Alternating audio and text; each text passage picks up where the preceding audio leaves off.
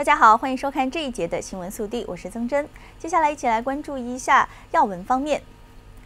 北韩外务省发表声明，指联合国人权委员会通过请求，请将北韩涉嫌违反人权的个案交由国际刑事法庭审理的决议草案，是颠覆以人民大众为中心的社会主义制度。又说，美国的敌对行为令北韩在开展新一轮核试方面不能再保持克制，将无限度加强战争威慑力，应对美国的武力干涉和侵略。某声明说，北韩已经向国际社会表明有意在人权问题上的配合，但被美国拒绝，强调主导通过这一项决议草案的各方要承担一切后果。墨西哥第一夫人里维拉宣布出售名下位于首都墨西哥城的豪宅，这座豪宅由她有份参与当地高铁投标企业的子公司承建。他强调，不希望外界继续借此诽谤和污蔑自己的家人。曾经是艺人的里维拉，2010年成为第一夫人之后，结束演艺生涯，并获得电视台超过650万美元的酬劳。前年初购入这座折合约400万美元的豪宅，至今已经支付了三成。他强调没有什么隐瞒，但为了保护自己和家人，决定将豪宅出售。由中国铁建牵头的财团早前投得当地首条高铁工程，但墨西哥政府决定重新招标，以免被质疑透明度和合法度。香港政务司司长林郑月娥昨天与福建省副省长郑晓松率领的福建省代表团在港会面，双方同意成立闽港合作会议。闽港合作会议由政务司司长和福建省政府。分管港澳和商务事务的副省长领导，明年一月下旬在福建举行第一次会议，讨论经贸、金融和其他范畴的合作。日常联络和协调工作则由政治及内地事务局与福建省港澳办负责。林郑月娥表示，闽港合作会议将两地的交流合作提升至一个新的层次，期待明年一月访闽时可了解福建经贸的最新发展，来加强合作。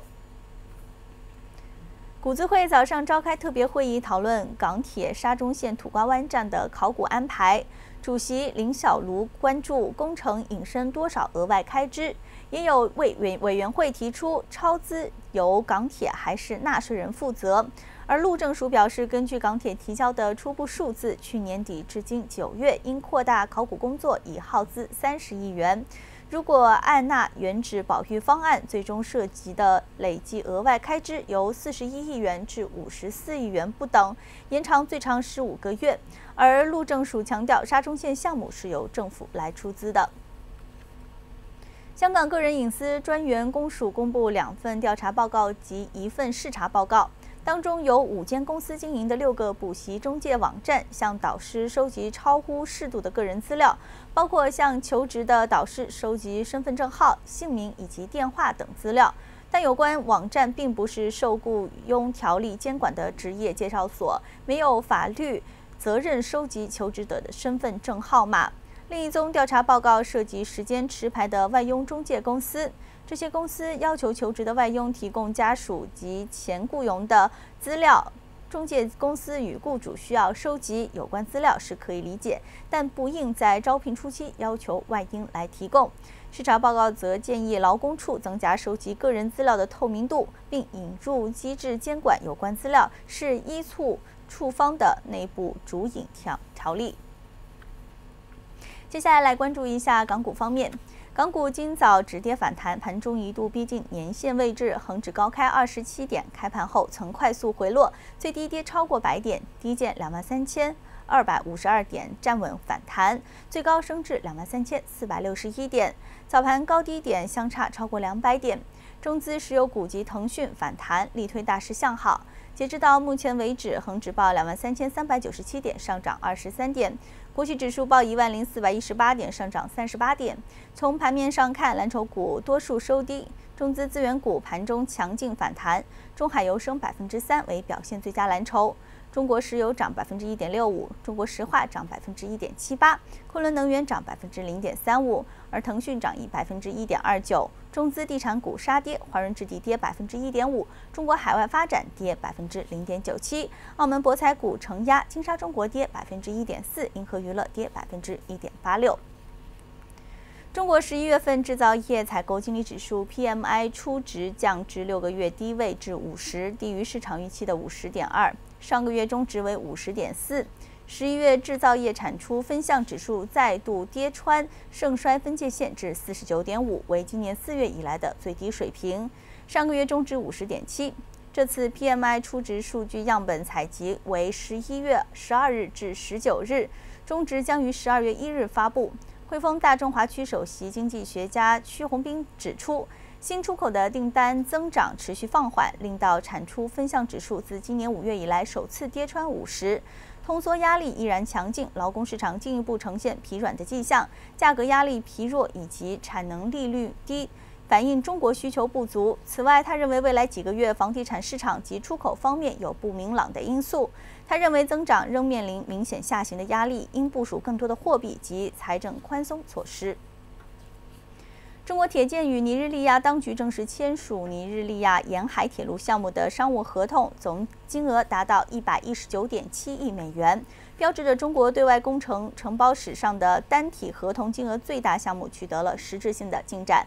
尼日利亚沿海铁路全长折算线一共长达一千四百零二公里，全线设车站二十二个，设计时速为一百二十公里。中国铁建中非建设有限公司副董事长曹宝刚表示，尼日利亚沿海铁路经过三年多的策划设计和追踪，今年五月五日，中尼双方签署了项目的框架协议，合同金额为一百三十亿美元。随后，尼方对设计方案进行了调整。项目合同金额变成了一百一十九点七亿美元。中国铁建董事长、党委书记孟孟朝飞表示，沿海铁路全线采用的中国铁路技术标准，将带动施工机械、机车车辆、钢材、机电产品等价值接近四十亿美元的中国装备出口。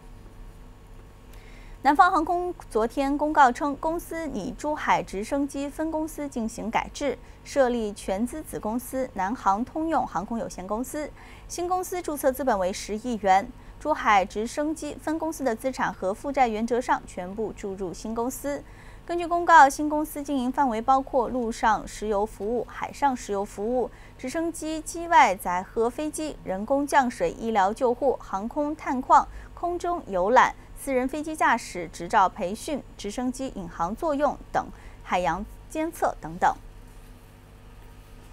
中石化的控股股东中国石化集团周四公布，拟三年内投入超过四百亿元人民币，用于治理油气管道安全隐患以及替换更新老旧管道。中石化表示，三年内全面完成现有隐患整治的工作。具体行动及时间节点为二零一五年九月前完成重大及穿越密闭空间隐患治理，二零一六年九月前隐患整改率达到百分之八十，二零一七年九月前全部完成治理，二零一四年十一月二十二日是中国石化首个安全生产警示日。一年前，为铭记青岛幺幺二二的事故教训，中国石化集团决定于十一月二十二日为安全生产警示日。此番表态正好发生来安全警示日来临之际。关注完所有的要闻资讯，再来关注一下香港天气。现在香港的平均气温是二十五摄氏度左右，大致天晴。谢谢观看这一节的新闻速递，请留意接下来的节目。